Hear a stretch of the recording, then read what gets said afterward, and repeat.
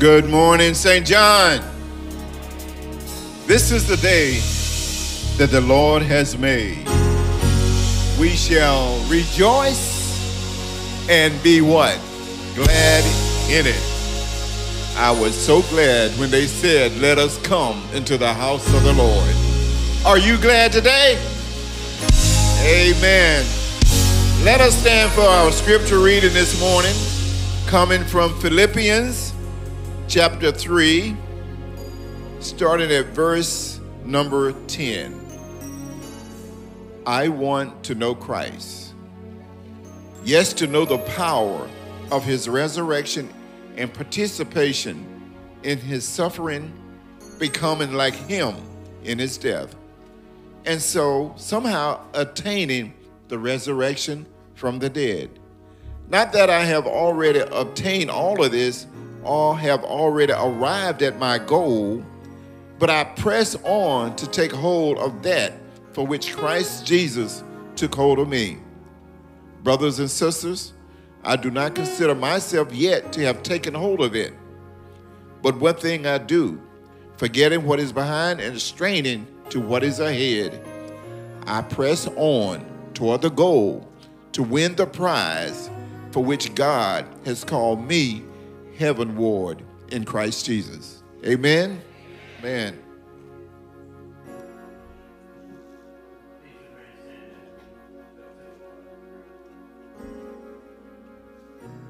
Heavenly Father, Heavenly Father, we come before you again to say thank you. Father, you've been so good to us, Father. You've been better to us than we can ever be to ourselves. And Father God, right now, when we woke us up this morning, we was closed in our right mind. Father, you put food on our table. And Father God, you gave us a limb to be able to walk with, Father. You gave us eyes to see. You gave us ears to hear. And you gave us a mouth to speak. So, Father God, right now, we ask you to let us hear your word today. And let us shout thank you since you gave us the use of those items, Father. Some people did not have them today, Father. So we want to say thank you, thank you. We cannot thank you enough, Father. We know that we keep saying repetition, repetition over and over, thanking you for food, thanking you for clothes on our back, Father. But reality, look at it, Father. There are so many that do not have it, Father. So we want to say thank you, thank you. I cannot thank you enough and Heavenly Father, right now, Father.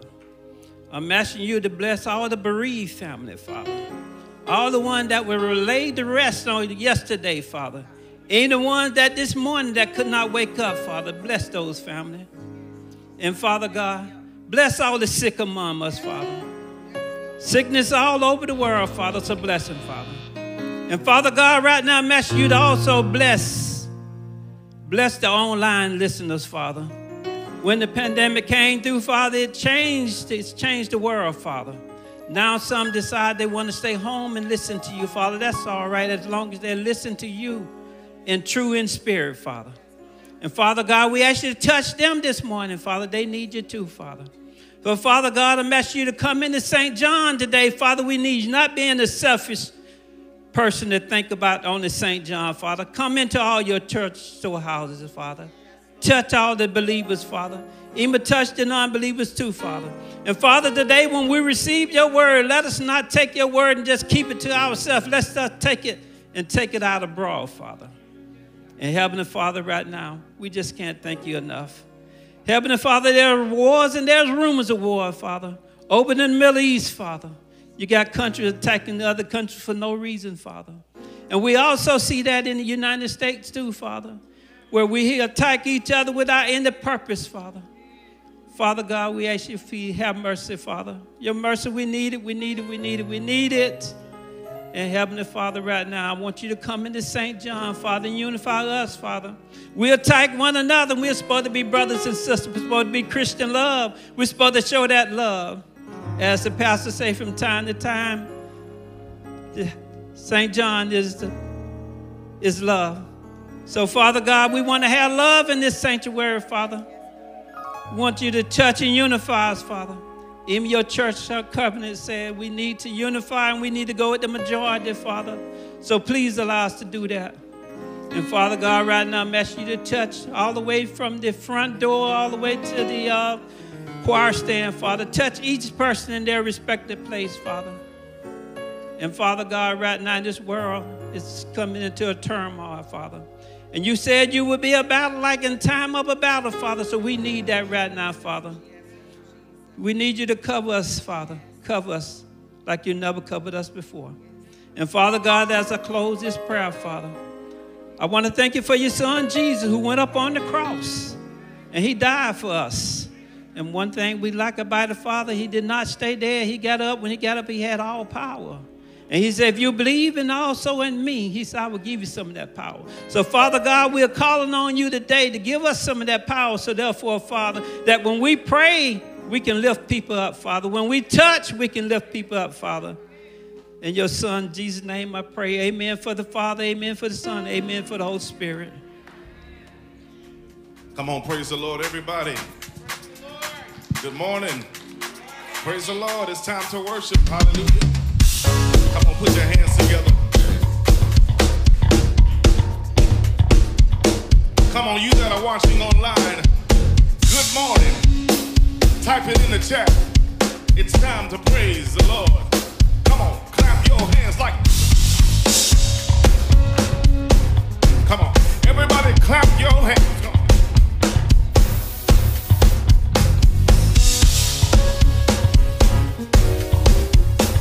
Come on, put your hands together.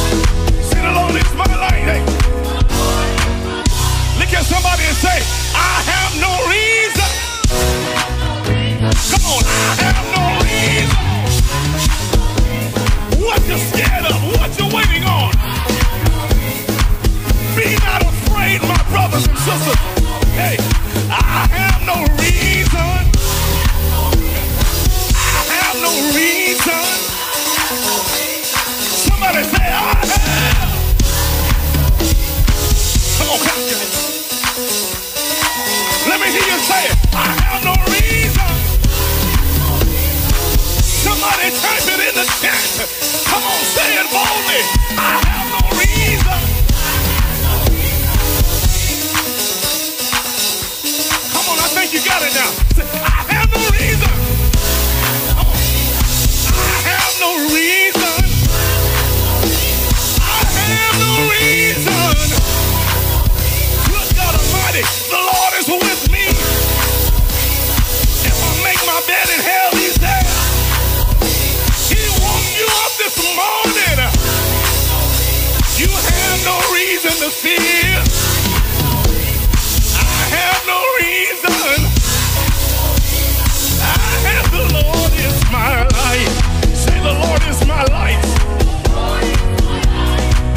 the Lord is my life. Come on, one more time. Say, the Lord is my life.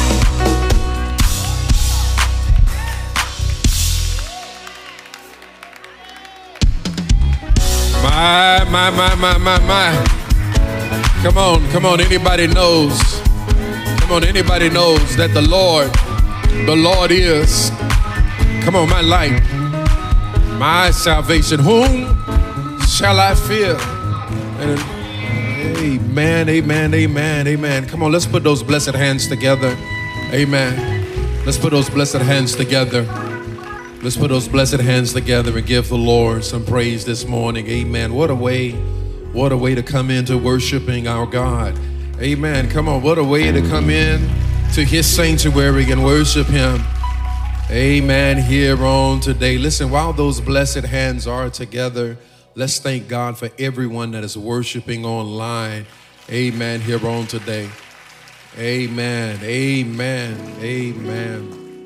It was just at our state convention and got a chance to see pastors across this state that are part of our state convention and you would you would be surprised amen as to how many um, pastors and people across this state have their eye amen on the worship experience here at st john not that we come in here to impress people or you know to put on a show for other folks uh, but just so that you know eyes are on you and that uh, that and so you ought to take that seriously. Listen, we come to worship and praise our God, but do you not know, Amen, that that we set trends and set bars, and so then and we set standards, and so when we come in here, we don't come in here, Amen, sluggish. I don't care what we go through, Amen, because we come to praise our God, and then we're setting an example for other people, other Christians, other churches. Come on, y'all not hearing me today.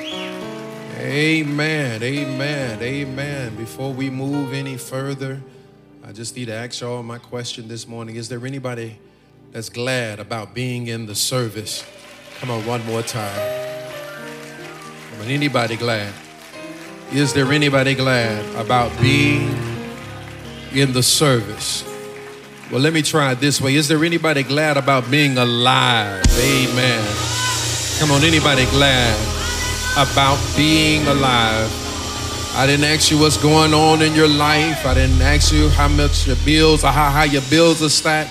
But are you just grateful today just to be alive? Once again, God, you did it again, Lord. You, Lord, you, excuse my bunnies, you've done it again. You, Lord, you did it again. You woke us up this morning, and here we are in your sanctuary.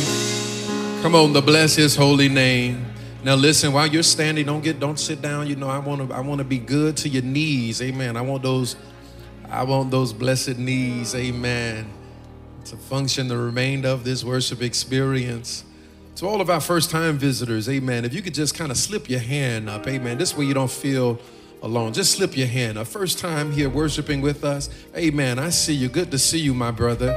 Listen, following service, amen. Any other first time visitors, and then um, let me see now if you are visiting, this is, uh, you know, you came back for seconds and thirds, and perhaps this is the last time you come back for second and thirds as a visitor. But if you're visiting again, if you're visiting again, visiting again, amen, visiting again. All right, good to see you all. Good to see you all. Good to see you all. Good to see you all. Good to see you all. Good to see you. Good to see you. Good to see you. Come on, good to see you. Good to see you. Come on, good to see you. Now listen, St. John, what we want to do is is that listen to all of our visitors if you've never had the opportunity meet us after service we want to get a chance to briefly um, thank you for worshiping with us and i'm going to tell you about my speech my speech is selfish it's selfish i'm telling you it's selfish so get ready for it and the reason why it's selfish is because I don't want you to come back here the same way you came today. I want you to come back as a family member the next time you come. Amen. I'm telling you, it's very selfish. It's very selfish. I want you to come back as a family member. And so then I want you to meet us over in the visitor center. Amen. Following service. But listen, St. John, what we want to do, get out of your seat, out of your comfort zone, off of your pew with your pew buddy, and go and shake somebody's hand, give them a fist bump, let them know you're grateful to God to see them in the sanctuary one more time. Come on, can we do that? Let's go do that. Amen.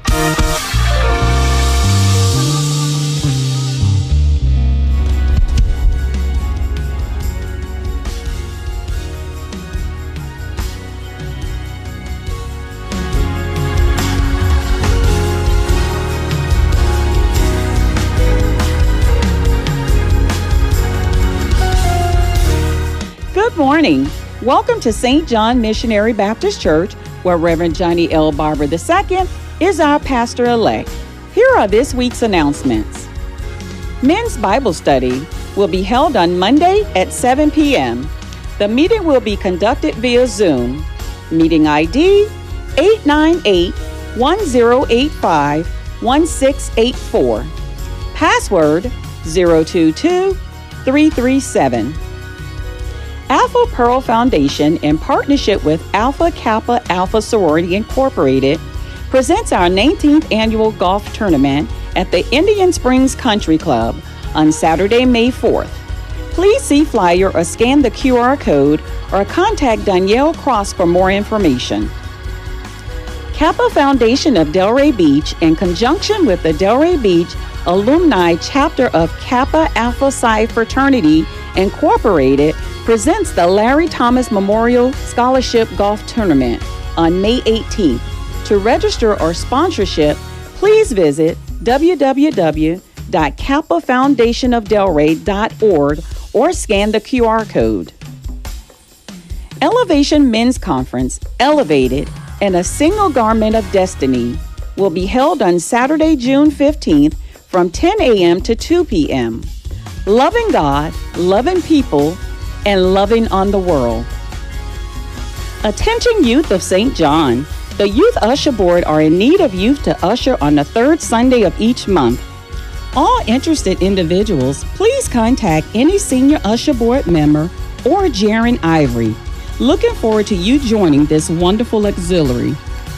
The National Coalition of 100 Black Women of South Palm Beach County chapter would like to invite you to our 19th annual Hat and Brim Scholarship Luncheon on April 20th, noon to 3 p.m. at Benvenuto's Restaurant. We will be honoring our very own Yvonne Odom.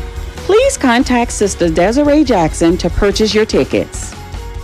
The Boynton Beach Police Department gun safety event will be held on April 18th at 6 p.m. at the Boynton Beach Cultural Arts Center located at 125 Ocean Avenue, Boynton Beach. In a symphony of goodwill and grace, we invite you to join Pathways to Prosperity for Champagne Notes and Velvet Tones, an evening of jazz. This fundraiser will be a night of unforgettable inspiration. Champagne Notes and Velvet Tones will open doors to limitless opportunities that will turn everyday notes of generosity into forever melodies of change. Tickets are currently on sale at www.eventbrite.com. If you have any questions, please call Pathways to Prosperity at 561 903 7743. We are asking that there's no eating or drinking in the sanctuary. Thank you. We would like to say happy birthday to all celebrating a birthday this month. Happy birthday!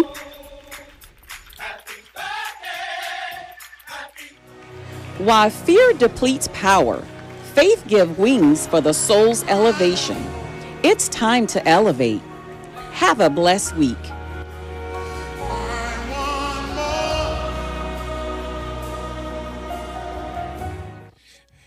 Amen. Amen. Just a couple of more observations. Amen. Sister Leverett, if you would come. Amen. Here on today. Amen. I'm going to mess with her because I can. Now, you know these are some long aisles. amen. Amen.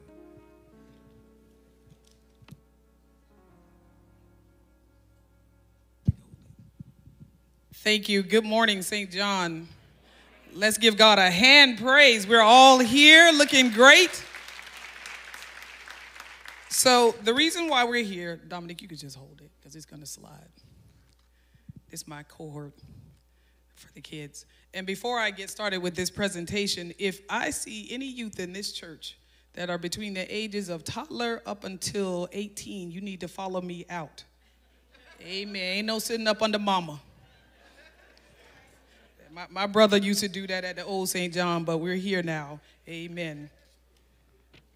All right. So at this time, we're going to make a presentation to a very, very special young lady, and I'm going to call them forward. I'm going to call Dr. Corey and Dr. Gwenicia Collins, as well as their daughter, Leah.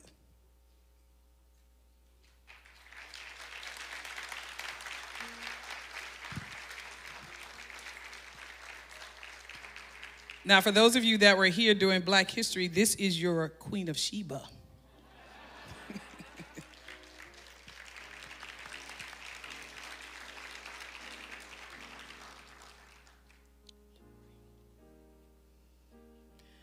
So, Leah Collins is the daughter of Dr. Corey and Dr. Gwenicia Collins. She is currently attending Atlantic, Sen- Atlantic Senior High School, where she is a senior this year. So the month of March was Leah's month because she was selected as the Scholar Athlete of the Month.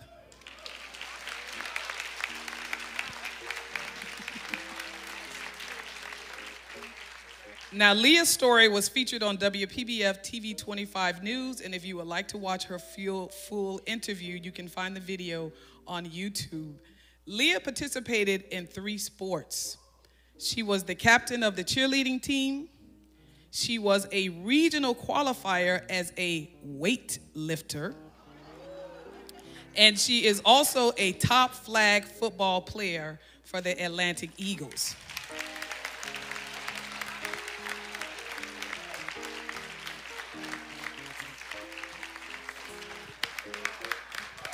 And what most impressed me is that she is enrolled in the International Baccalaureate program and is currently holding a 4.9 GPA.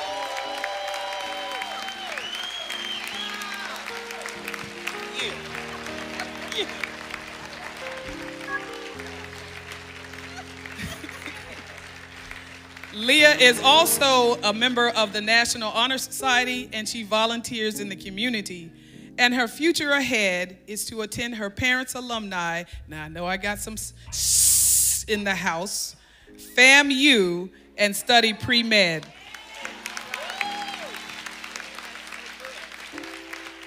So, Leah, on behalf of St. John Missionary Baptist Church and Chosen Youth Ministry, we wanted to honor you today for your outstanding accomplishments and you are certainly a role model for all of our kids in the back for Chosen Youth.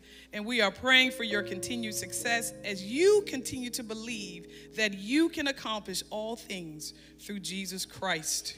Amen.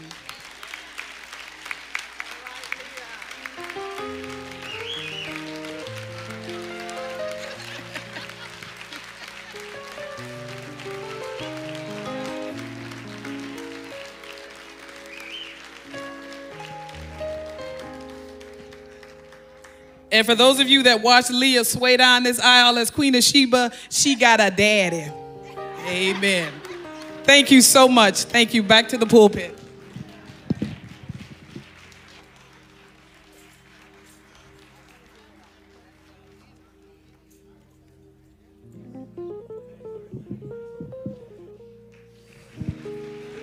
Yeah, let's give her another hand. No, we always say, who that said nothing good come out of St. John. Amen. Amen. Just a, a couple more announcements about the installation service. Uh, we gave you some dates last week to make sure you put in your calendar. Again, I'm going to remind you of those dates. Uh, the week of May 15th through the 19th, that will be the week of the installation. But there will be an ongoing celebration through the month of May and it might even be some celebration after May. But we want parents to mark this date because this, this one is right around the corner because we are going to do something for our youth, which will be May 4th.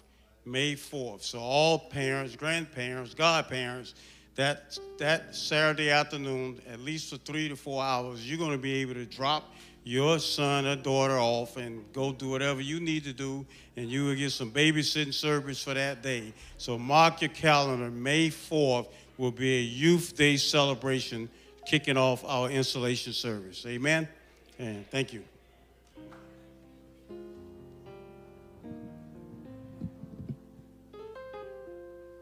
Amen. Thank you very much, Deke. Um, we, uh, yes, on that Saturday, we definitely want to have Pastor and the peeps, the little peeps. Amen.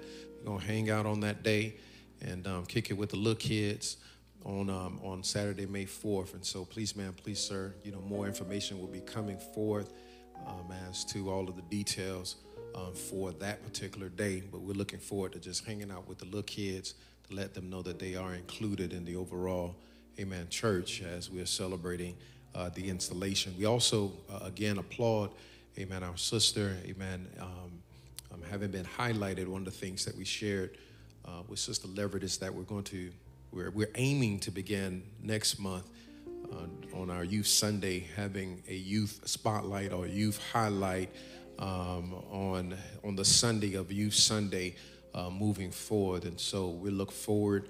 Um, she'll be working out the details, and you'll hear some appeals as, as we're trying to make sure we gather information um, about our young people because we want to highlight them.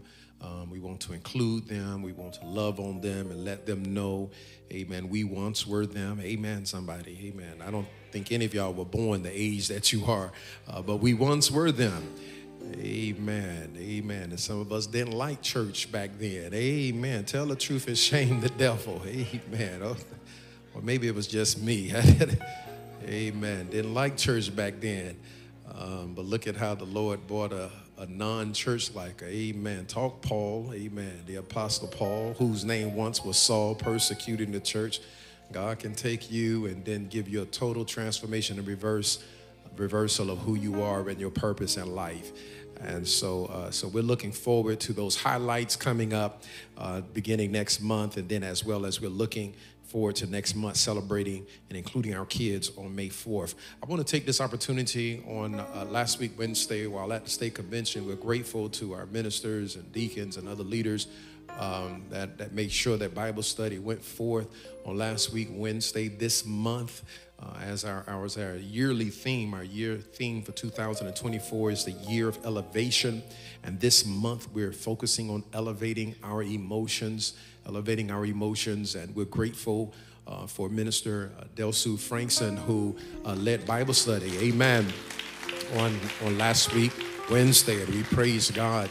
Amen. For her amen, sharing with us on last week, Wednesday. And I pray that you uh, consumed that information and then begin to apply it to your lives so that you can elevate your emotions. And so we're thankful uh, for all, amen, who led us on Wednesday, on Wednesday of last week. This week, Wednesday, this week, Wednesday, as we continue to pray uh, the new journey off right, uh, we will be praying that God would send favor in the church, that God would send favor in the church. And listen here, we'll be praying wherever you're at at 12 noon. You don't have to pray, pray long in order for it to be strong, but wherever you're located on Wednesday, um, even if you stop right at 12 noon and just say, Lord, send favor in the church. That's all you have to do, amen, at 12 noon if you don't have the space in the room to do so. Uh, but we encourage you at 12 noon, we'll all be asking God to send favor in the church. And then at 6:30 we'll gather that evening and we'll gather for our corporate prayer. We'll come together and prayer is open for everyone. It's not just for the deacons, not just for preachers, but everyone. Come 6:30 to 7 right up to the time of Bible study and we'll be asking God to send favor in the church. Um, my pastor used to say this thing. He said, Sometimes in life you have to just ask God to allow you to just be the saucer. He said, You don't always have to be the cup, but if you could just ask God to be the saucer. He says, Because when the cup begins to overflow, whatever is in the cup, it flows over to the saucer. And he used to talk about before he was old enough, but he said, uh, how his dad would pour coffee and he would watch his dad drinking coffee and his dad would take and pour a little bit from the coffee cup into the saucer, saucer and he'd give it to his son. And he said you couldn't tell him nothing. He thought he was drinking coffee like his daddy was. And uh, but what he realized is that what was in the cup was just as good. What was in the saucer was just as good as what was in the cup. And so, as we pray and ask God to send favor in the church, that's the cup. And as the cup overflows, amen. Y'all not hearing me in here today. That means if you're connected to this church, if you're connected to this church, if you're a member, family member of this church, if you are, amen, even a friend of this church, God is going to bless us and favor going to fill up the cup and the cup going to begin to overflow. And the favor that shows up in the life of the church, you're going to start seeing that same favor showing up in your house and in your your bank account and in your mind and in, in your connections in life and you're going to look around and wonder what's going on. Well, let me tell you in advance before it starts to happen. The reason why it's happening is because you're connected to a church where God's favor is filling the cup and it is overflowing into your life. And so I encourage you, saints of God, to join us Wednesday as we come together uh, for a time of prayer. It's, it just kind of reminds me of my mom when she was living, and, and while we didn't like church, she used to make me and my brother, amen, every now and then come join her in the room with prayer. And um, I didn't like that either because I heard them prayers when I was outside of her room, and that woman would be praying all night long. And then she'd call us in there to pray, and I was like, God, we're gonna be in here all night long praying. But, brothers and sisters, there is power in prayer. God hears and then He answers prayers. And so I'm appealing to you, church, as we are praying this new journey off right between pastor and people. Amen. We want God to send favor in the life of the church. And so, so saints of God, join us Wednesday at 12 noon and then Wednesday evening at 6:30.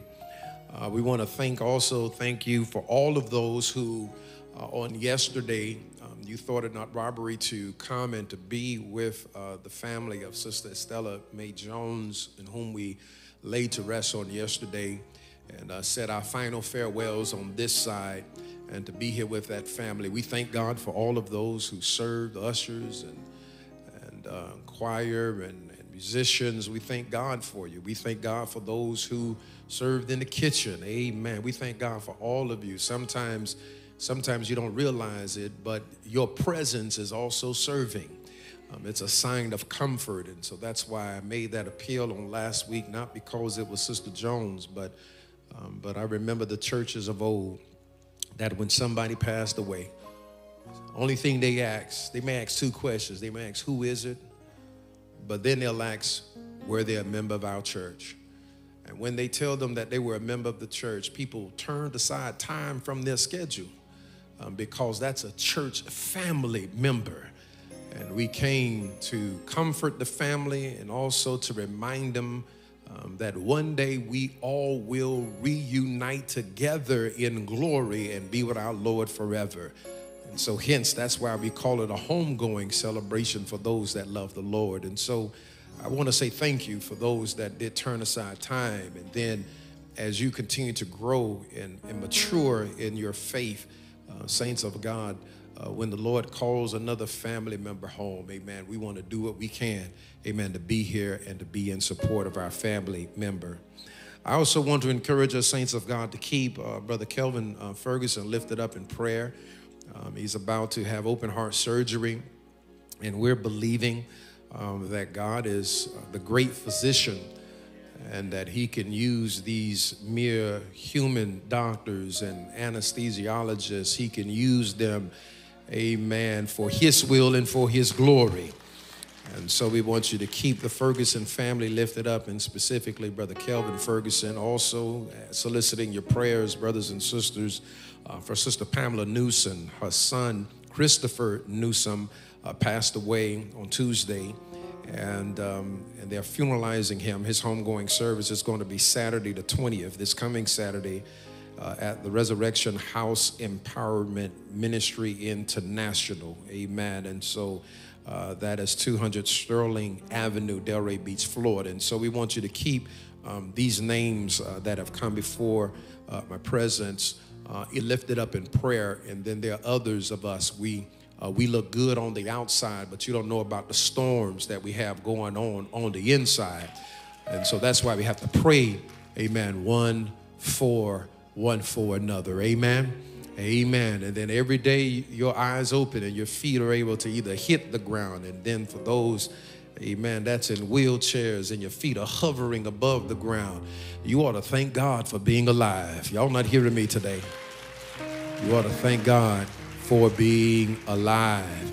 And that's why when we gather in the sanctuary, Amen. We ought to come with uplifted voices. Amen. Giving our God praise and lifting up his name, thanking him, magnifying him. Amen. With our lifted hands and lifted voices. And even the countenance on our face should look like we are blessed. Are there any blessed people in this house on today? We come now in worship to worship God by the giving and the sharing of the fruit that He has been so good and so kind and so merciful to bless us to have in our possession. Listen, as they're moving into place, amen, while this is on my mind, because something will come in and, and erase it, uh, but where are all of all of the husbands and wives that are celebrating anniversaries this month. Where are you? If you would stand, where you? Where, where are you? Celebrating an anniversary this month. Amen. Okay, all right. See that, Deke. All right. Nobody else didn't want to acknowledge y'all celebrating an anniversary this month. Y'all gonna be in trouble when y'all go home. Amen. Somebody gonna be. Who, who's else? Okay, all right, there we go. Okay, all right, all right, amen.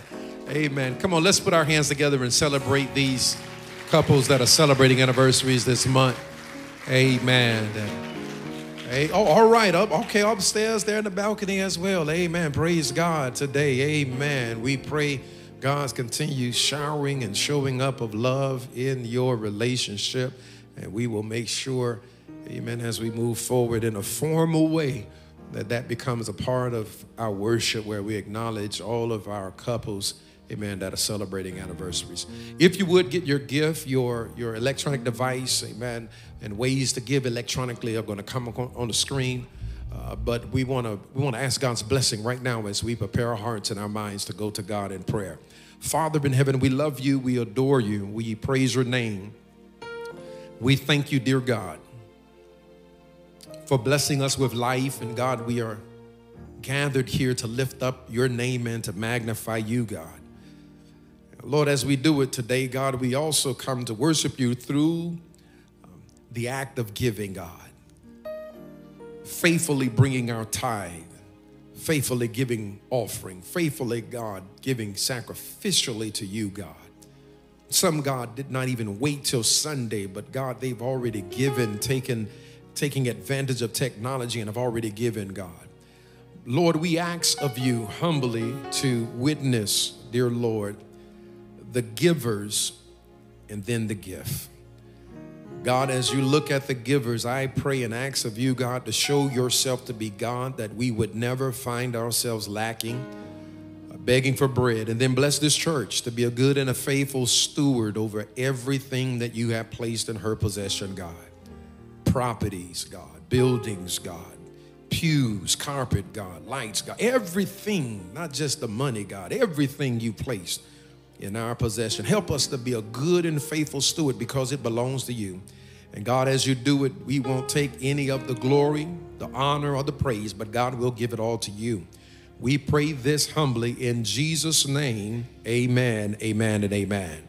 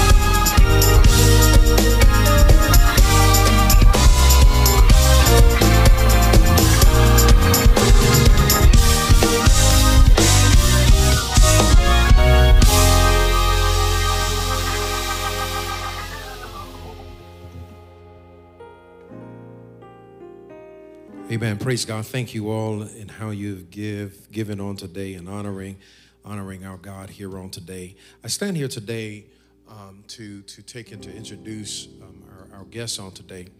In the process of the church um, doing their interview, one of the questions that was asked about asked towards me rather was uh, you know my my view and my vision as far as missions and and, and global mission um, beyond beyond not only this these walls, this community, um, but the way I interpret it when the question was asked about global uh, missions, uh, you're talking about beyond this state, beyond this country, and you're talking about just this world. And um, I had the privilege um, a couple of years ago, a year or two ago, to to meet this gentleman and got a chance to um, got a chance to find out more, not only just about him, but, but the work that he is connected to. Uh, our guest uh, preacher, um, he uh, works for and is a part of an organization called Compassion uh, International. And for 70 years, Compassion International, um, they've served uh, over 3 million children, saved, not just served, but saved over 3 million children from poverty. Their mission statement their mission statement is releasing children from poverty in Jesus' name. Compassion International serves in 20, 29 different countries, and they have they have frontline churches um, in some of the most impoverished places in the world. They provide food, clothing, clean water, medical care, um, Christ uh, Center education and other resources to take and to give these children in these impoverished areas hope beyond the hopelessness. And to date, Compassion has released uh, over 2.5 million children from poverty, and their goal and their goal for for next year um, is to take and to increase that. In November, that's right. Amen. Amen. In November of 2022, um, our guest, Reverend Harper, um, he joined Compassion uh, International as a church engagement and relationship manager uh, for the African American church. Reverend Harper, he travels throughout the country um, and internationally, uh, working with pastors to take and to create strategic partnerships in order to help children gain their freedom from from poverty. There's a text uh, in Proverbs 19:17 that says, "He who has pity on the poor lends to the Lord, and He will pay back um, what uh, He has given." Uh, brothers and sisters, um, there is a video that's going to be played just to so that you can get a glimpse of the work that Compassion International does. And then the choir is going to bless us with the song, and then the next preaching verse voice is going to be behind the sacred desk, uh, will be that of Reverend Gabriel Harper. And some of you may say, well, why is he, why is he here? Why is he preaching? It's not just to introduce uh, this organization to us, um, but by chance after the service, you know, there will be some of you that can personally support a child, that can personally support a child one of the things that we will gather and we'll chat about um, is how, as a church, that we can sponsor perhaps a village, uh, perhaps uh, several children as a church because we could do more, uh, amen, together. And so this video is going to play, and then following the video, the next, um, after the video, the choir will bless us with a song of preparation. And then the next preaching voice behind this desk will be that of Reverend Gabriel Harper. Uh, he's going to bless us with the word, uh, amen, from the Lord.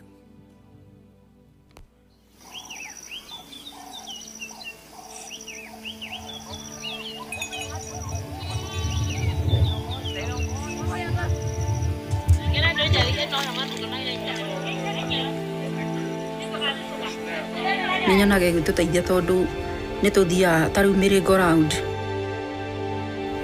ngo tå thiaga na twona mbeca icio nĩcio tũhotaga gũka gũteithia itũ okorwo nĩ ta mwana ta ũcio kĩndũ ataima ngahota kũmũgũrĩra no njetereire wa mweri nĩ no compassion.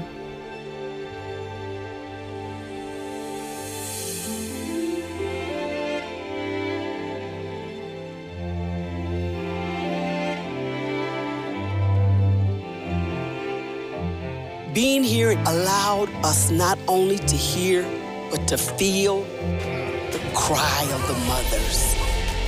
All they wanted was more for their children, more of an opportunity, more of an opportunity of schooling, of food, of, of better shelter. And who best can help a mother than another mother?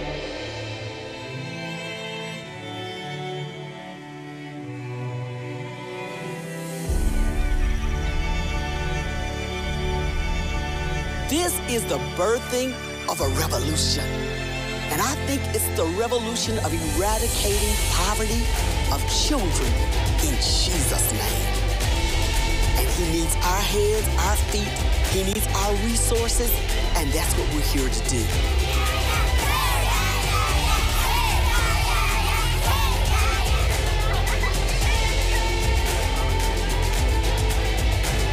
It's not enough to just experience it, but we've got to do what's necessary to make the change. One child in one family affects an entire family.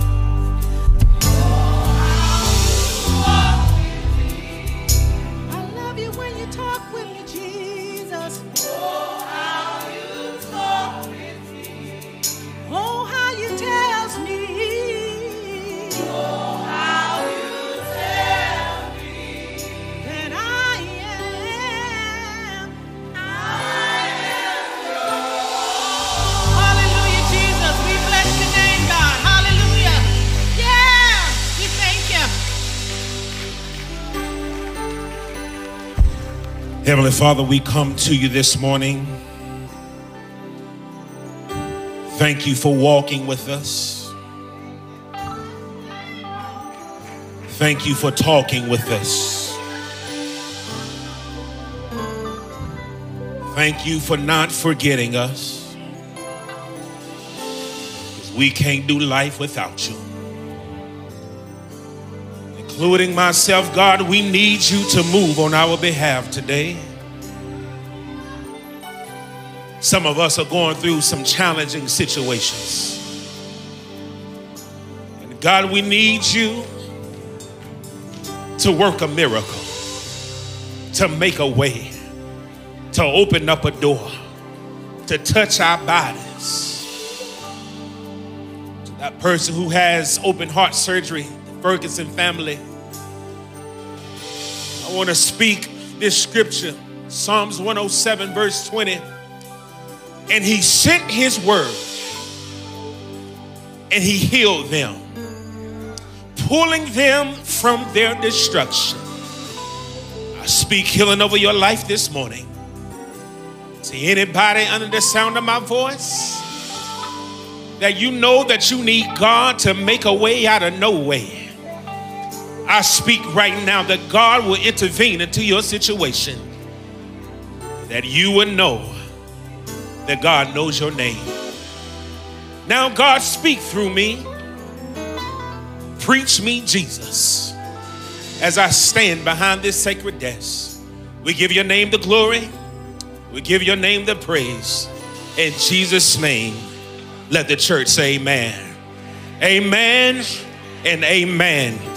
Come on and put your hands together if you're excited to be in the house of the Lord. For David said, I was glad when they said unto me, Let us go into the house of the Lord. You may be seated in the presence of the Lord. What good morning, St. John. Again, my name is Reverend Gabriel Harper. I'm so humble, elated, and excited to be here. I want to thank God for your pastor, Pastor Johnny Barbara. Come on, come on and put your hands together. Your pastor elect. Thank you for believing in this man of God. He's a dear brother, beloved of mine, and I'm enjoying our journey of growing and getting to know one another. But this morning, this is Compassion Sunday. If you have not heard of it, I want to just take a moment and explain to you just a little bit more who Compassion International is. Again, we're located in Colorado Springs, uh, Colorado. God opened up this door for me in 2022 um, to be able to travel nationally and even internationally to show pastors the work that we do. This morning on the table in the foyer, we have highlighted children in Ghana and in Haiti that need someone to sponsor them. There are 355 million children that are trapped in poverty. I want to say that number one more time. I said 355 plus children right now that's trapped in poverty. We're working every day to change that. That's why I'm here this morning. Children in the compassion program are up to 40% more likely to finish secondary education. Here it is Children in Compassion Program are 80% more likely to graduate from college. See, these children don't have the fruits and the labors from their parents like we do to send our children to college to get a loan, or some of us we pay. No, they don't even believe that they can make it to school. But because of compassion, because of someone showing them kindness like you, myself, there is hope for them to have a better future. And here it is Children in Compassion program are up to 75% more likely to become leaders in their communities. And literally since last year, Compassion has served 2.2 million children, 1.5 million children in medical interventions. If it were not for Compassion International, some of these children would not be able to have medical help at all. 10.6 million, uh, we serve 10.6 million children and families when it comes to family food packages. Hygiene kits over 16 million. Given to disaster relief 1.3 letters written to children. I come here this morning just to explain to you all how you can show kindness to children. But listen, I have a word for you. I have a word from the Lord in 2 Samuel chapter 9, verses 1 through 7. 2 Samuel chapter 9, verses 1 through 7. In its entirety of the story, it goes through 1 through 13. Read it in your leisure. But this morning, I just want to highlight a few verses. In the New Living Translation version, 2 Samuel chapter 9, if you have it, you can say amen. Amen. And the word of the Lord says, One day David asked, Is anyone in Saul's family still alive? Anyone to whom I can show kindness for Jonathan's sake? You may be seated, that's enough. For the sake of preaching, I want to tag this text with the topic when favor tracks you down. I want you to find the neighbor that look like they came to church this morning and say, Neighbor, when favor tracks you down. Father,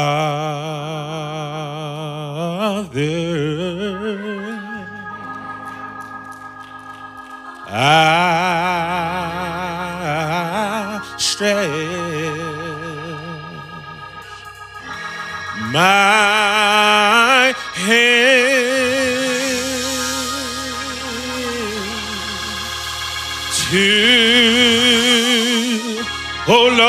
to thee. No,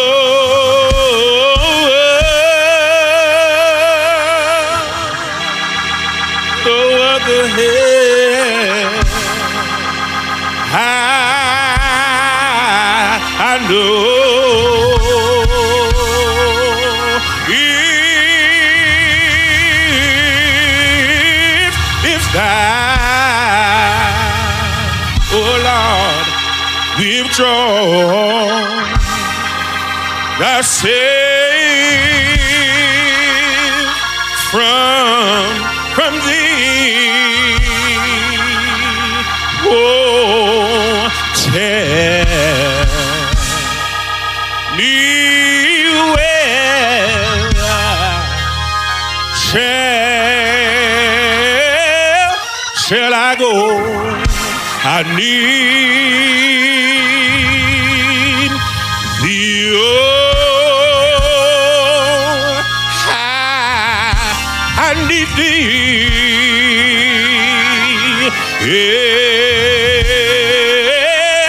every hour.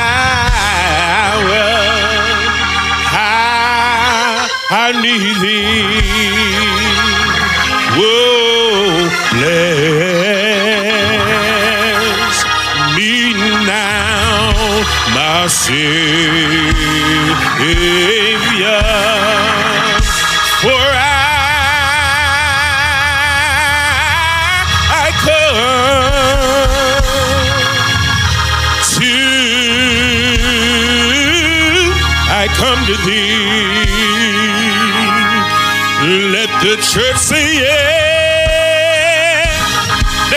church. Yeah. Let me hear you. Say yeah. Oh, say yeah. You sound good this morning. Say yeah. Oh, yes, Lord. You may be seated.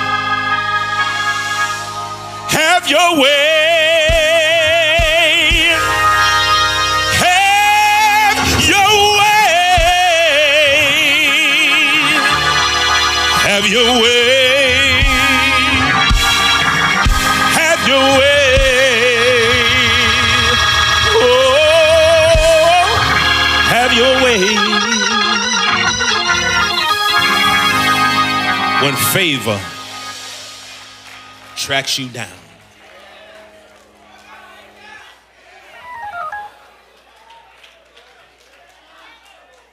I'd like to share a story with you about a young boy who grew up in New Orleans in the 1920s, raised by a struggling single mother. This young boy couldn't finish school because it was so difficult for his mother to find resources to take care of the family. So he dropped out of fifth grade and began to work for a Jewish family. This family soon after began to provide this young boy hot meals. They began to even give him resources that he needed clothing, liquids, food, and even a bed to sleep in. His family somewhat adopted this young boy and began to provide other needs for him to help advance his life to the next level.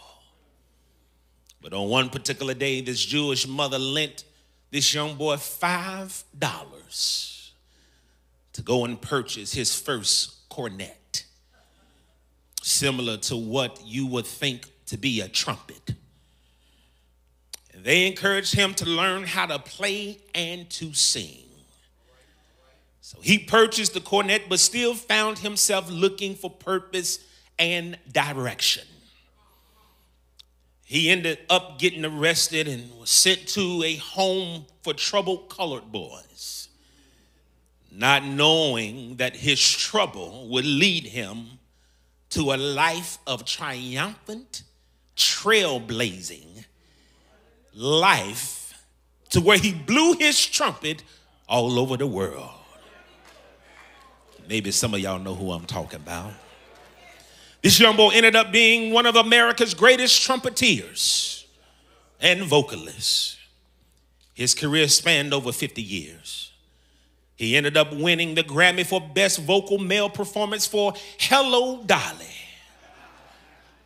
He won the Grammy Lifetime Achievement Award in 1972 and was inducted into the National Rhythm and Blues Hall of Fame in 2017. I'm talking about the late and great Young. Here it is. Y'all know him. What's his name? Louis Armstrong.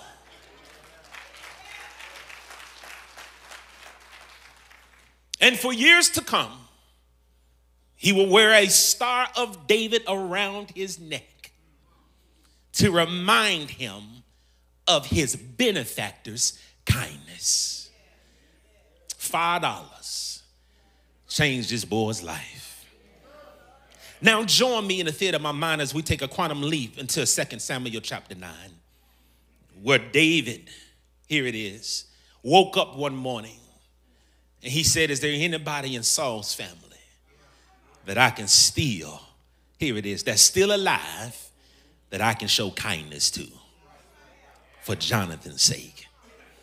Ziba says, There's one of Jonathan's son left, but he is crippled in both of his feet. But don't miss this, church.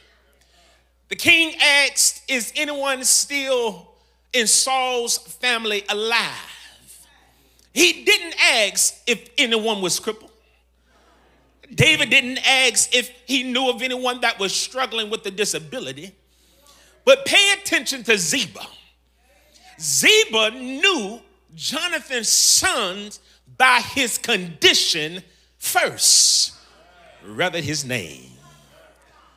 Come on, somebody. I want to parenthetically pause for one hot second and tell somebody watch this the people who call you by your condition is getting ready to know you by your position. Oh, you ought to find a neighbor, say, neighbor, your position is getting ready to change. It's getting ready to change. I love how David is non judgmental in verse 4. David doesn't change his mind because Jonathan's son is lame in both feet. He commits to his decision. And he asks Ziba, Where is he? King, he asks, he, and, and Ziba says he's in the place called Lodabar. Ziba told him at the home of Machir, the son of Ammiel. My friends, this morning, Lodabar was a lonely place in the northern part of Gilead. Lodabar literally means not having or no pasture. Lodabar was considered a town of forgotten people, place where there were low hopes, low dreams, low resources, low education, low skills, and feeling low on love. Those who lived in Lodabar lived, here it is, below the bar. And this is what we call poverty stricken communities and countries.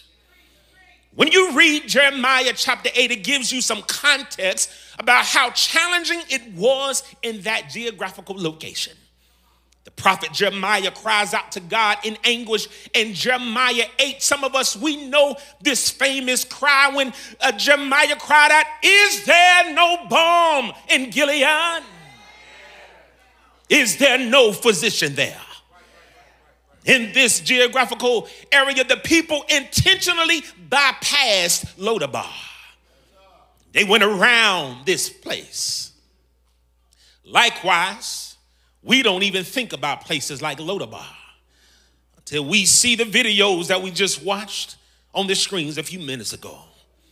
You may see a commercial on TV of children living off less than a dollar 90 cent a day.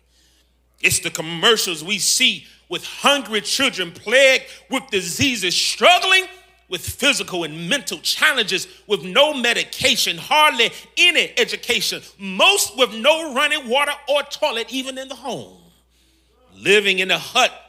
And on top of that, some of these children are left in traumatizing situations, not having any parents to help them get through these challenging situations. Mephibosheth, he can relate. Listen to what happened to him in 2 Samuel chapter 2 Samuel chapter 4 verse 4. It was when Saul's son Jonathan had a son named Mephibosheth. It said it's in 2 Samuel 4 verse 4, who was crippled as a child. He was 5 years old when the report came from Jezreel that Saul and Jonathan had been killed in battle. When the child's nurse heard the news, she picked him up and she began to run.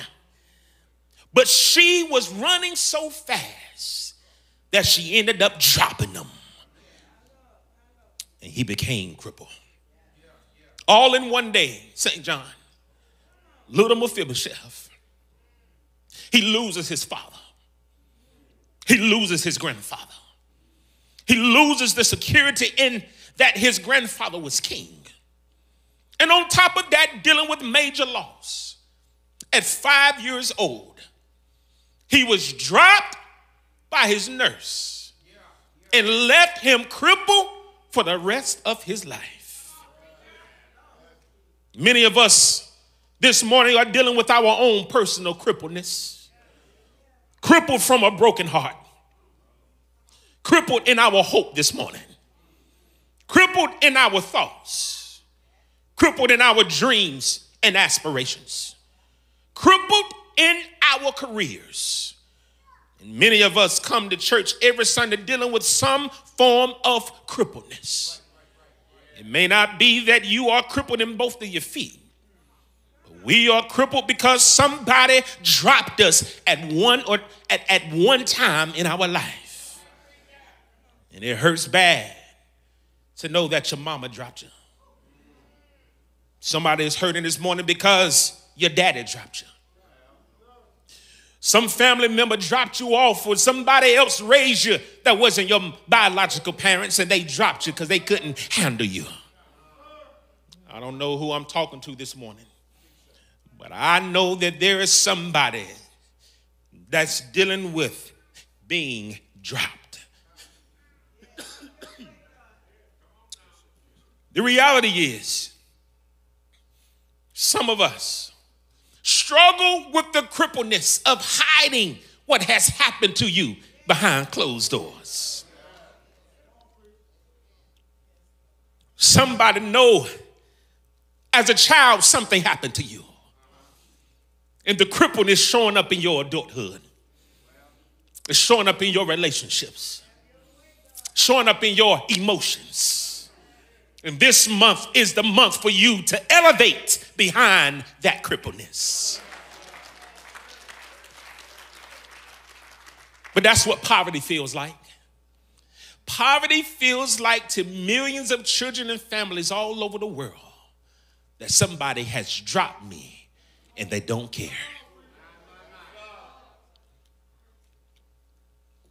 Poverty is crippling to the mind, it's crippling to the body and soul. Poverty cripples your dreams and your aspirations. The same way that you feel like somebody has dropped you in childhood, just imagine living like that every day of your life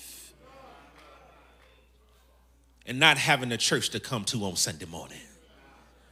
Not having a pastor to lay hands on you and pray for you to get through your challenging situations. That's what poverty is.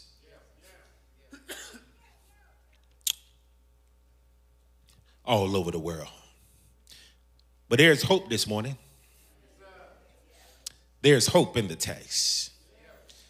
And I pray that somebody hears me this morning because there's a child waiting on you. There's a child waiting for you to show kindness to them the same way that David showed kindness to Mephibosheth. But here it is this morning. Let me get to my few Sunday school points and I'm going to take my seat. There are some truths that we can learn from David's compassion. And if you find yourself living below the bar, the first truth that we can find in the text, number one, is that our position can change because of a previous promise. I want you to repeat after me. My position can change because of a previous promise. When you read in 1 Samuel chapter 20, verse 14 to 17, you will learn about the relationship that David and Jonathan had. They were good friends, they was beloved brothers. David kept his promise to Jonathan. And here we are in the current text in 2 Samuel chapter 9, verses 6 through 7. It reads, His name was Mephibosheth. He was Jonathan's son and Saul's grandson. And when he came to David, he bowed low to the ground in deep respect. David says, Greeting, Mephibosheth. Mephibosheth replied, I am your servant. No, David says, Don't be afraid. I intend to show you kindness because of a promise that I kept to your father. Brothers and sisters, what I'm trying to show you is that if God can use the love of two friends who kept their word for each other, how much more will God fulfill his promises for you and your family? Numbers 23, verse 19 says, God is not a man, help me preach, Holy Ghost, that he should lie, neither the Son of Man that he should repent. Hath he said, and he shall not do it? Or hath he spoken, and it shall not make good? If I may, let me remind you of some of the promises that we can hold on to. Deuteronomy 31, verse 8 says, The Lord Himself goes before you. Help me preach, God. And He will be with you. He will never leave you nor forsake you. Do not be afraid. Do not be discouraged. John 14, verses 1 through 3, this is a promise that we can hold on to. Let not your heart be troubled. Ye believe in God, believe also in me. In my Father's house are many mansions. If it were not so, I would have told you. I go to prepare a place for you. And if I go and prepare a place for you, I will come again. That's the promise. And receive you unto myself, that where I am, there ye may be also. Jennifer Hudson wrote a song, He promised me a home over there. That's the promise. Here it is. Whatever we don't get in this lifetime, somebody say, There's a promise on the other side. But not only do we see the crippled position change by a promise, but second of all, number two, our position can change because of providential placement. Providential placement. Verse 7, watch this. It says, I will give you all of the property that once belonged to your grandfather Saul.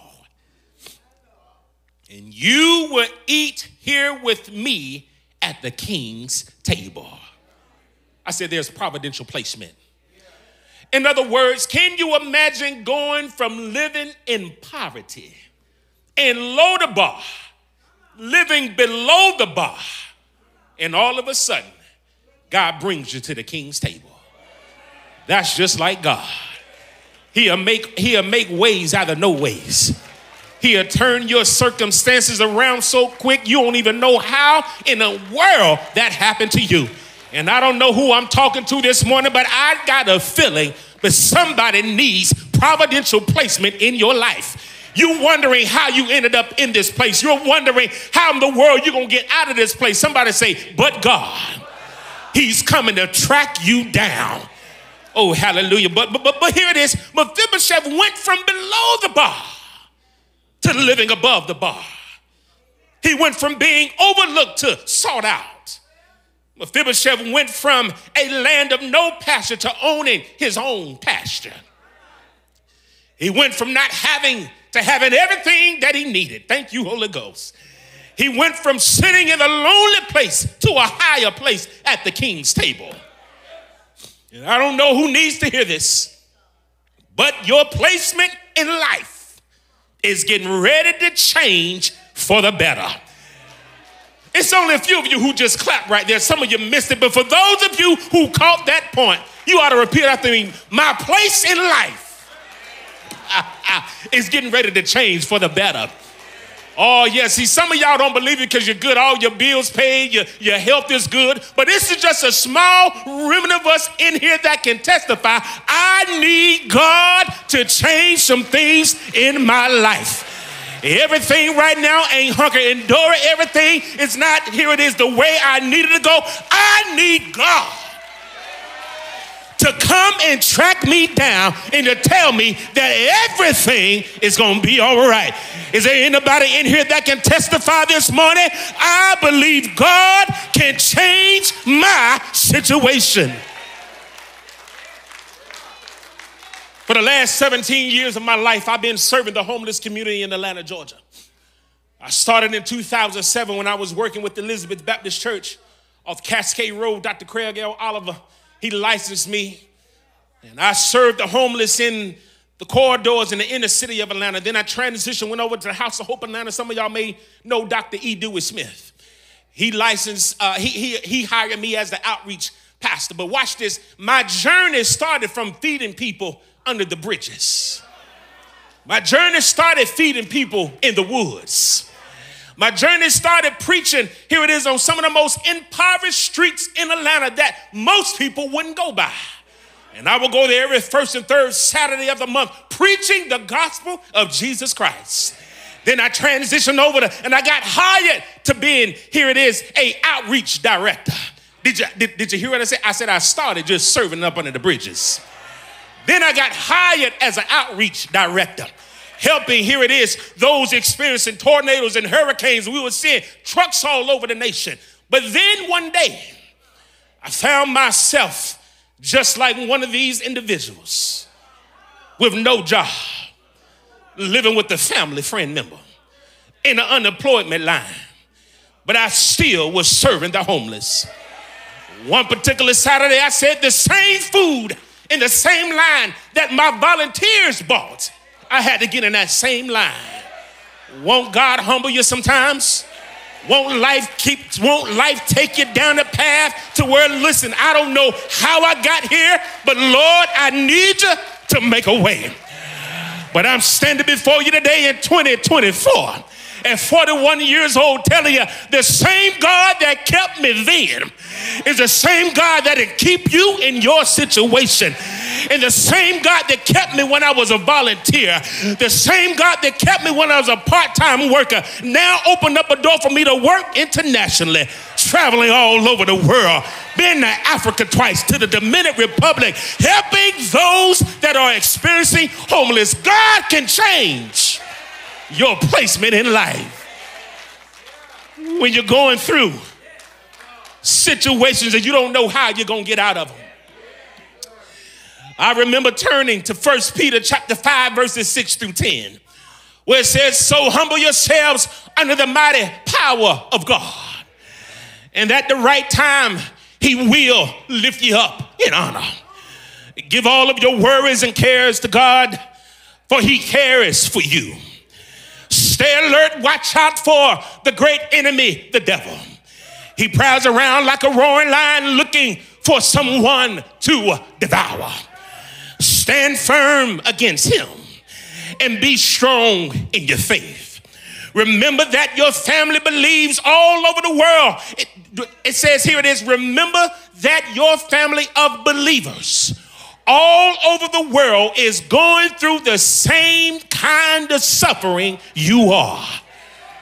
But the shouting verse, I love verse 10 when Peter says, In his kindness, God called you to share his eternal glory by means of Christ Jesus. So after you suffered a little while, somebody may be suffering this morning. Somebody may not have everything you need. You may have your own poverty situation going on. But Peter said, after you suffered a little while, he will restore you. He will support you. And he will strengthen you. And he will place you on a firm foundation. All power to him forever and amen. I told you I won't be with before you long. I'm on my last point. I'm going to take my seat. Not only can our position change because of a previous promise, not only our position can change because of providential placement, but last and finally, our position can change because of perpetual provision. In other words, verse 13 says, and Mephibosheth, who was crippled in both feet, lived in Jerusalem and ate regularly at the king's table. In other words, he didn't eat at the king's table sometimes. He didn't eat at the king's table just on the holidays and Easter Sunday. He didn't eat at the table just on Christmas and Thanksgiving. But somebody say he ate at the king's table all the time, regularly, continually, and perpetually. As I close uh, this sermon, I, I studied this passage and I've seen how God took care of Mephibosheth through a previous promise. He took care of Mephibosheth through providential placement. And he's taking care of Mephibosheth through perpetual provision. But when you come out of your Lodabar, uh, when you come from out of living below your bar, you can give God praise because you know God to be a provider. And I wonder, is there anybody this morning that can testify? He's been a God that put food on my table. He's been a God that put clothes on my back. He's been a God that has paid all my bills. He's been a God that helped me see things that I couldn't see. And you can praise God this morning for God being a provider. But you can also praise God for being a protector. When you didn't know how you was going to come out of that situation, the Lord, He protected you from seen and unseen danger. God, He's not only a provider, He's not only a protector, but you can praise God this morning for being a presider. In other words, He told you to go right when you shouldn't have went left.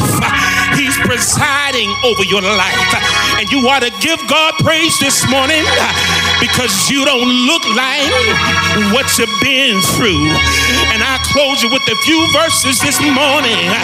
David says, I've been young and I'm old.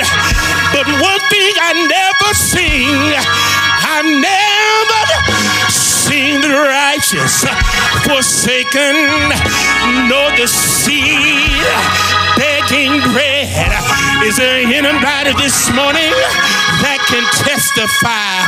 I remember when God kept my family, kept my marriage, kept my children, kept my lights on.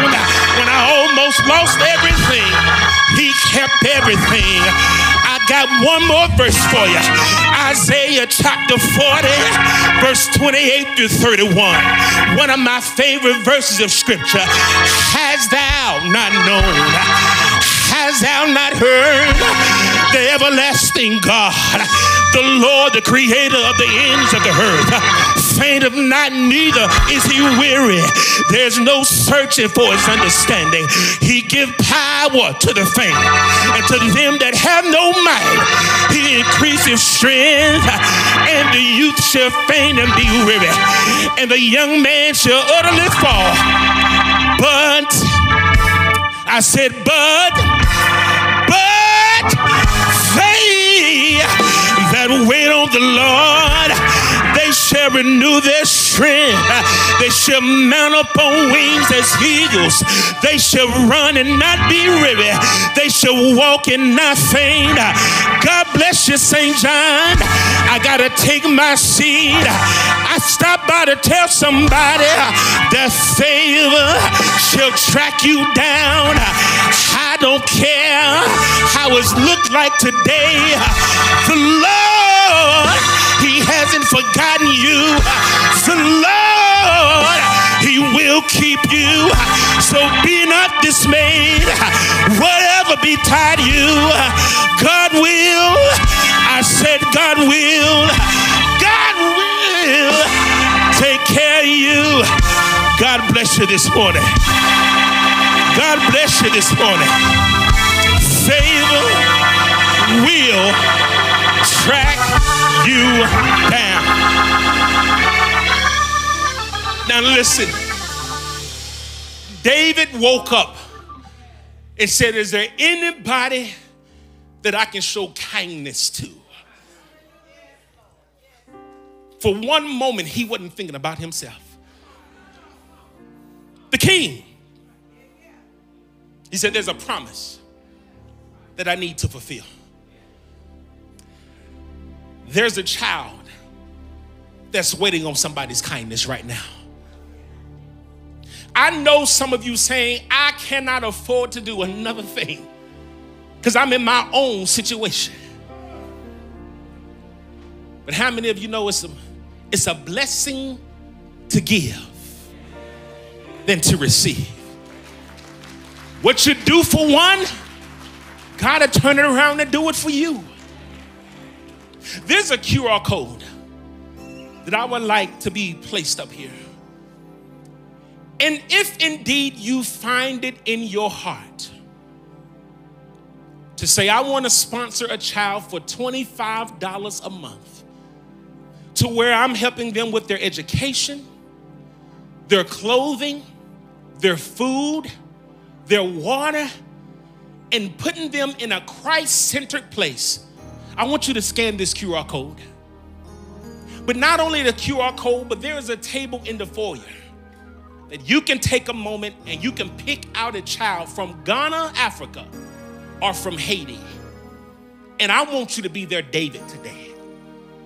I want you to literally say, I'm going to get from beside myself for just one year, just one. You can keep this child and write letters to them, send gifts to them. You can do all of that, send birthday gifts, but for at least one year, I'm going to challenge me and my family to sponsor a child on behalf of St. John. And watch this, St. John.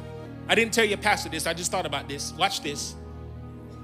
When you sponsor a child, and the more children you sponsor in this church, watch this Compassion International, we're to take your pastor on an all expense paid trip to see the work that we do.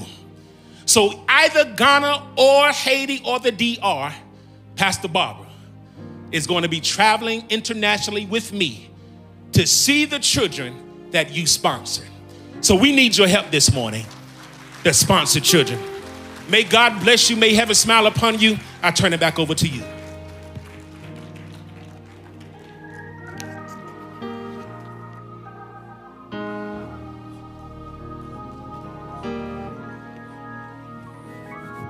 Amen. Come on, let's give Reverend Harper, amen, a hand clap of praise and thanking God, amen, for him on today. Listen, as you're standing, would you stand? This is the invitation for Christian discipleship. While, while Reverend Harper made the appeal for, for your support, um, I do pray that you would uh, place it on your heart uh, to do so. And then, as well as make sure that you stop by the table in the vestibule uh, because some may have more questions that they want to ask. But let's thank God right now for the word of God today. Come on.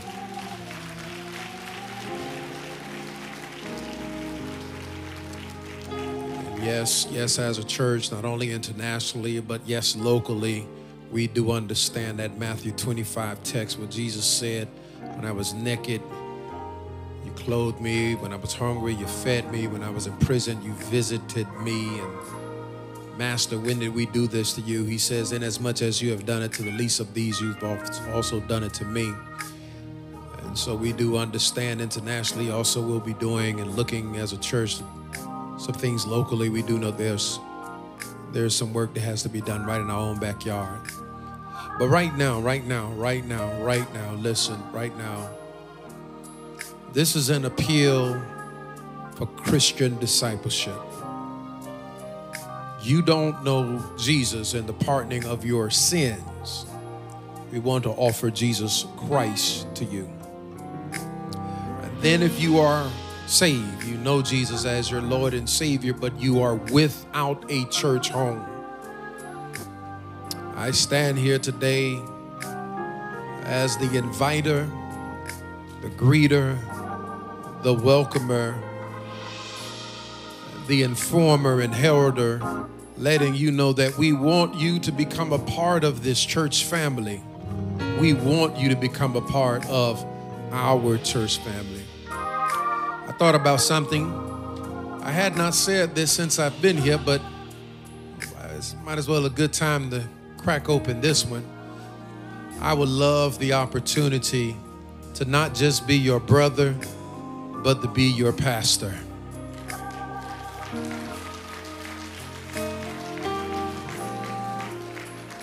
And so, if you're here today and you don't have a church home, but you know Jesus, we invite you to come. If you are not saved, we invite you to come. And then perhaps this was this was your church home and you drifted away for whatever reasons. Listen, I, I tell you, this is a no judgment zone. We're not judging where you've been and why did you leave and and all of that other murmuring things that sometimes it's all in our head and all in our mind. But trust me, we're not judging you because we understand our job description and responsibility is to celebrate and to praise God for that one soul that was lost but now is found. And so if you're here, my brother, If you are here, my sister, perhaps in the balcony, perhaps to my right, perhaps to my left, or to the center, if you're here, wherever you're at in this sanctuary, we invite you to come today. And then if you're online, if you're online, listen, you could you could send it in the chat. Amen. Or you could email the church and tell them, listen, that you've received salvation and that you've become a part of this church family, um, even in our virtual campus. And so if you're here, would you come today? Come, my brother, come, my sister. This is your day, your chance, your hour. You can walk out right now. You can walk out right now. You could walk out right now. If you're here today, would you come? Would you come? Would you come? Would you come? Come on, we offer Christ to you. Come on, we offer Christ. We offer. I see you coming, sis. Come on.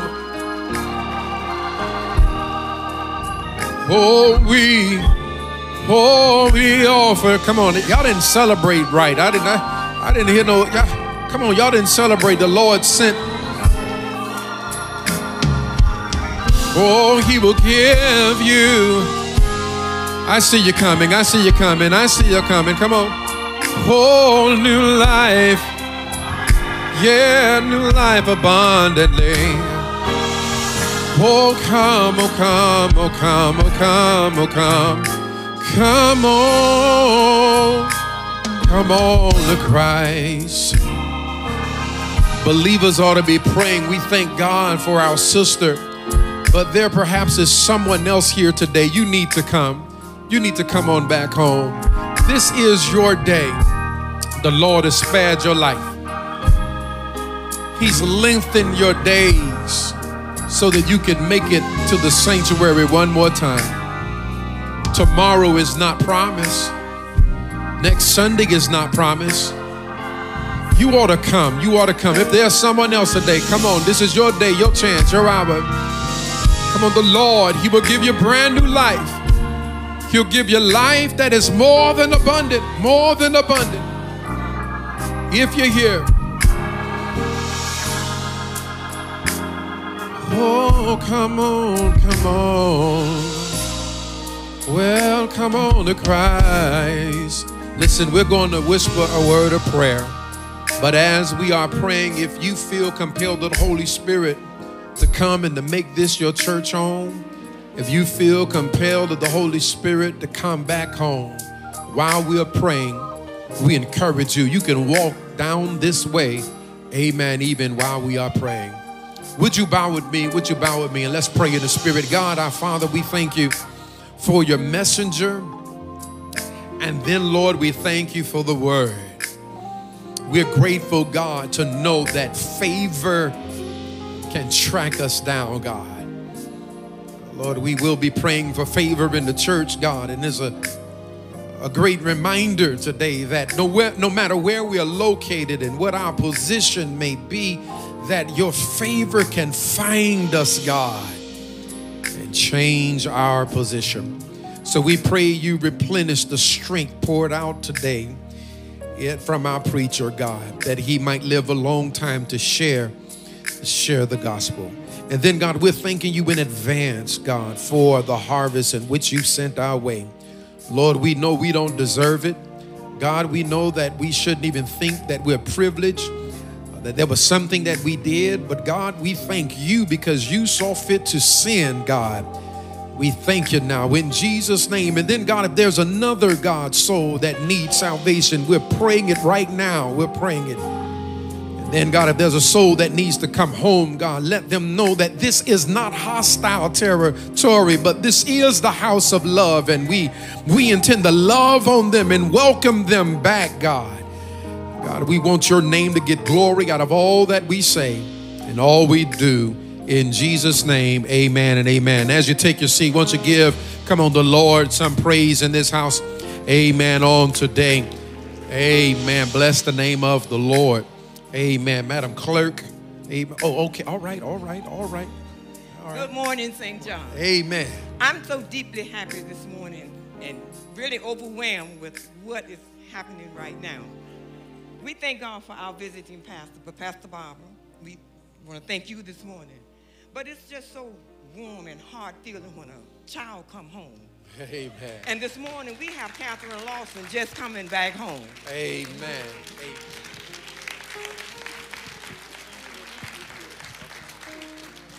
Amen.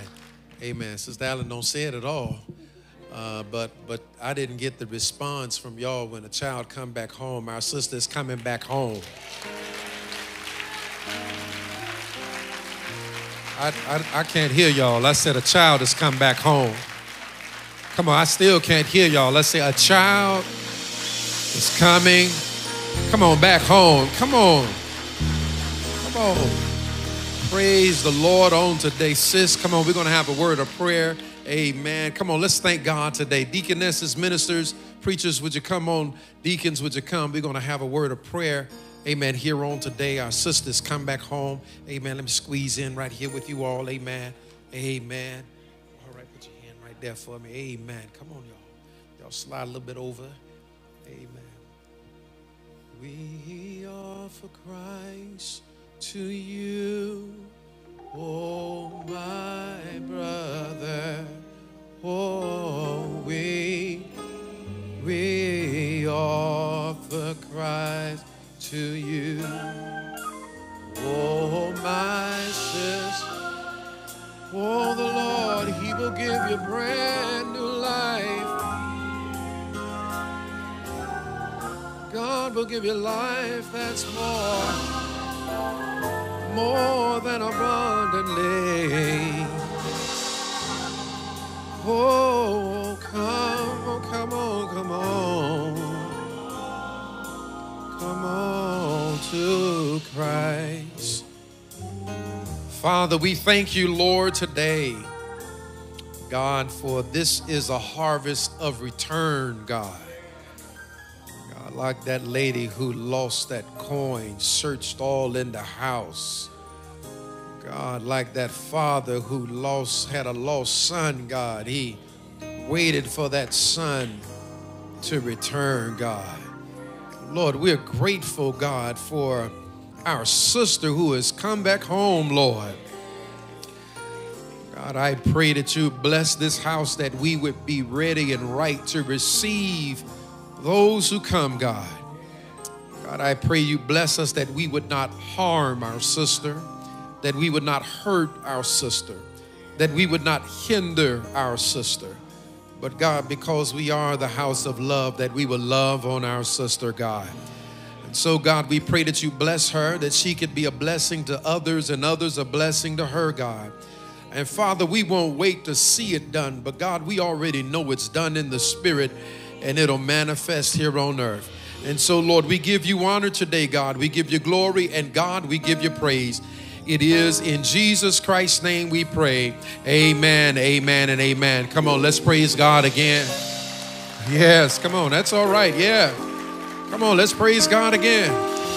Come on, let's praise God again. That's right. Amen. Yes. Praise God again. Amen. Come on, let's praise God again. Yes. Amen. Our sister is going to, amen, go into the rear, into the chapel.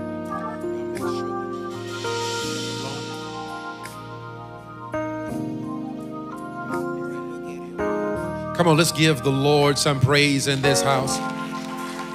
Come on, let's give the Lord some praise in this house.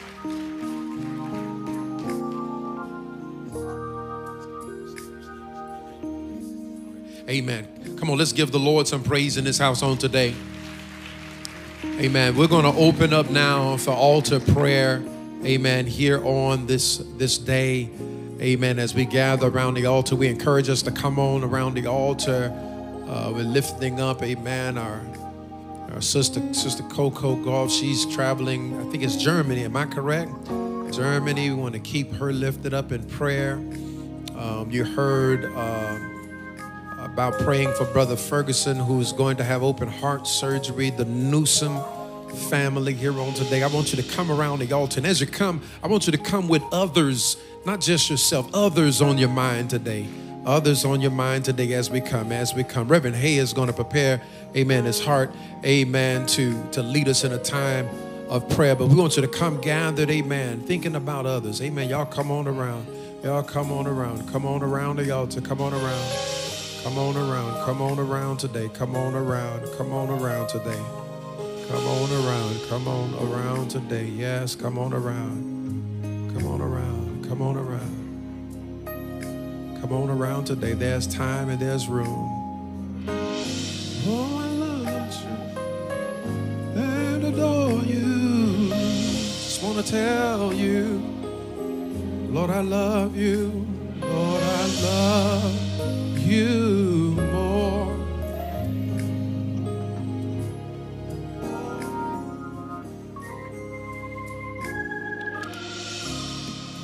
with bowed heads and closed eyes, we come before you, Lord, this morning.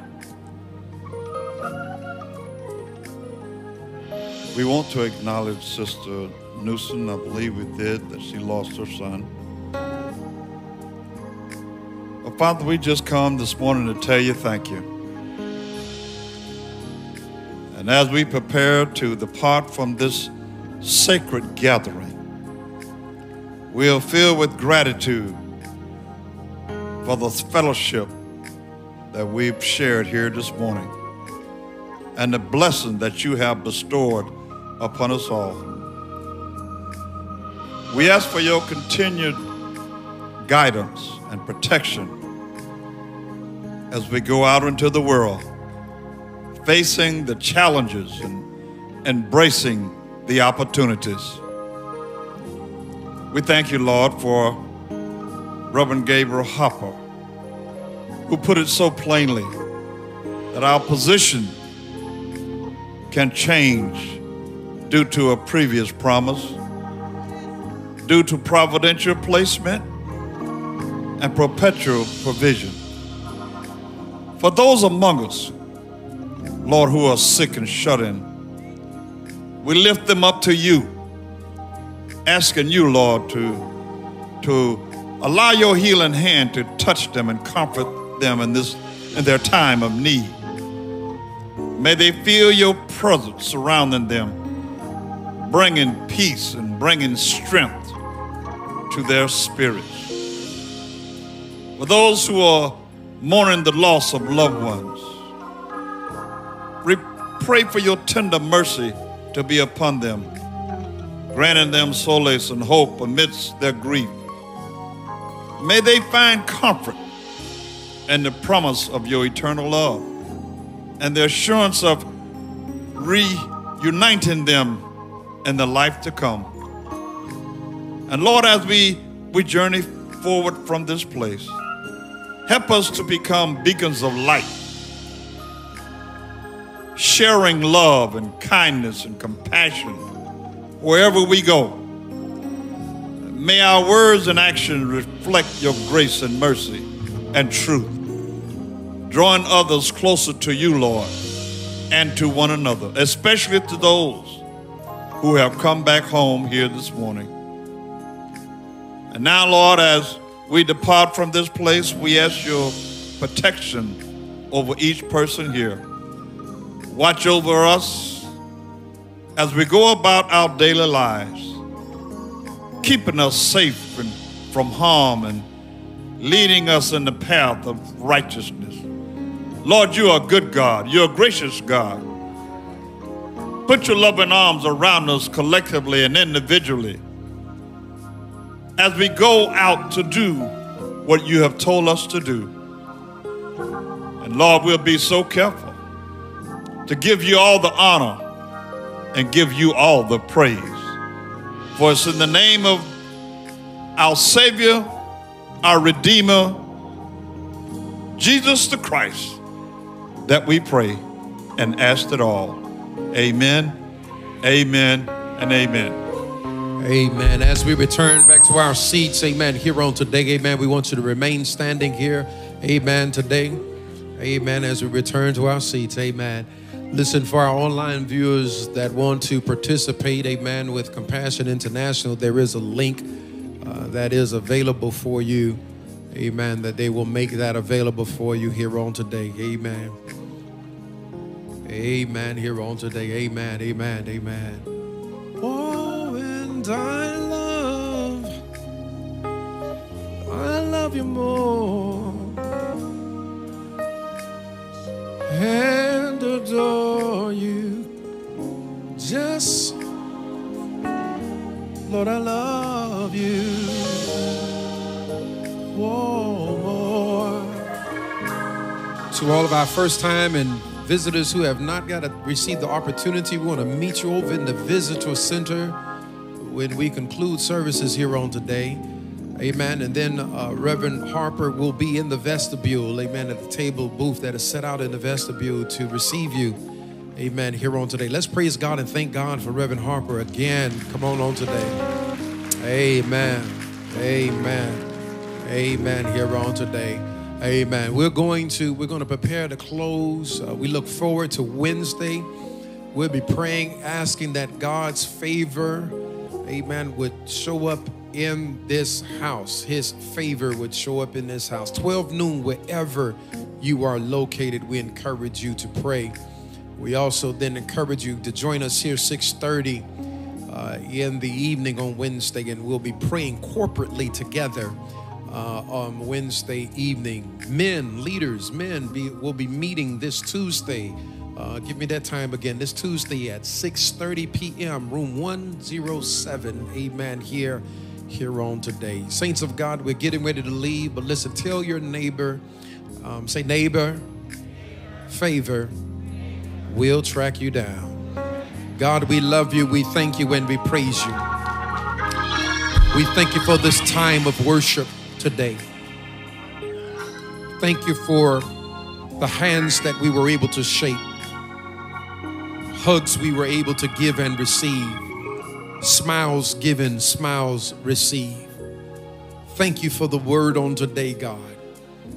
God, we continue to ask your blessings upon Reverend Harper, God, as he continues to lead this engagement effort throughout the world. Uh, Lord, and leading churches and people, God, to have compassion on those who are impoverished, God. God, we pray, Lord, that we would not be people who would just try to hoard, but that we would be conduits, allowing your blessing to flow through us, to us, through us, and towards others, God. Remember all of the sick, the shut in, the bereaved families, God. We pray, God, for Sister Tiffany and Sister Stephanie, God, as they are traveling even now, God. Uh, Lord, you bless the Jones family and hold them in the hollow of your hand. And as the Newsom family, God, make their preparations, God, to say farewell, God, I pray, God, that you would give them strength, supernatural strength, God, and comfort their hearts and their souls. God, there's been so much death, God, it seems like here recently, God.